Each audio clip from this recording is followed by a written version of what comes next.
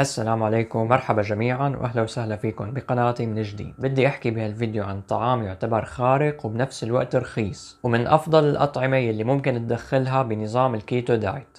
حديثنا عن السردين. السردين كتير من الناس ما بتعرف إنه هو يعتبر من أغنى الأطعمة بالاوميجا 3 وبالقيم الغذائية ويعتبر واحد من الأغذية الخارقة والرخيصة واللذيذة بنفس الوقت. لو كنت متبع لنظام الكيتو ما أعتقد أنه في طعام أفضل من السردين ممكن تدخله بنظامك.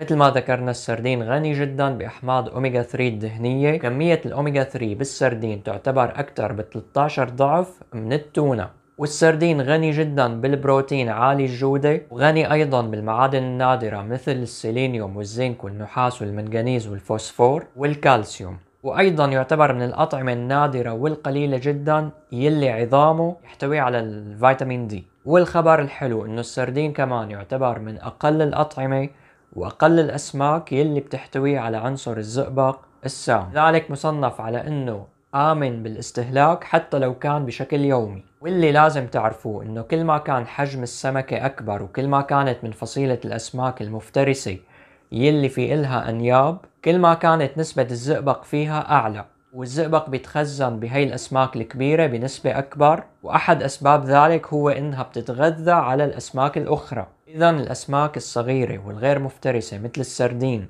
يلي بتتغذى على العوالق هي أفضل شيء وأمن شيء. طيب كيف نستهلك السردين بأفضل طريقة؟ وهل في فرق بين السردين المعلب والسردين الفريش؟ في عندك خيارين اثنين. يا إما بتشتري السردين طازج من سوق السمك وينظف ويطبخ وفي طرق كتيرة لذيذة آه، بتقدروا تشوفوها على اليوتيوب. لكن حاول عدم قلي السردين بالزيت لأن عملية القلي بالزيت العميق بتؤدي إلى احتراق الأوميجا 3 والكثير من الفيتامينات. بالتالي لما بتقلي السردين بتخسر الاوميجا 3 وبتخسر الفيتامينات اللي فيه. والخيار الثاني وهو الأسهل والمتاح لمعظم الناس هو شراء السردين المعلب.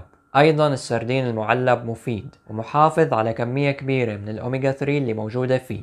ولكن كمان في نقطة مهمة لما تشتري سردين معلب حاول تشتريه آه، يا إما بزيت الزيتون يا إما بالماء. حاول تبتعد تماما عن السردين والتونة يلي بيكونوا محفوظين إما بزيت دوار الشمس أو بزيت الصويا. لأن فكر فيها كالتالي. أنت حتتناول السردين لأنه بالدرجة الأولى بيحتوي على الأوميجا 3 بدك تاخد فوائد الأوميجا 3 آه، مضادة الالتهابات مفيدة للعيون مفيدة للقلب للدماغ لكل خلية بجسمك. لما يضاف له زيت سيء جدا مثل زيت الصويا حيأثر كتير على الفوائد يلي موجودة بالاوميجا 3 أن طبعا زيت الصويا معدل وراثيا وزيت الصويا غني جدا بالاوميجا 6 والاوميجا 6 طبعا بعكس الاوميجا 3 بتزيد الالتهابات بالجسم وبتزيد المشاكل والأمراض بالجسم. فلهذا السبب بدك تبتعد عن السردين اللي محفوظ بزيت دوار الشمس وبزيت الصويا تحديدا زيت الصويا هذا أسوأ شيء. وفي حال خلينا نقول أسوأ الخيارات ما لقيت غير متوفر استخدم اللي موجود بالزيت النباتي ولكن حاول تصفيه تماما من الزيت. بعرف إنه حيخسر من فوائده ولكن شيء أحسن من لا شيء. بتمنى يكون هالفيديو عجبكم واستفدتوا منه ولا تبخلوا علينا بالدعم بالضغط على زر اللايك.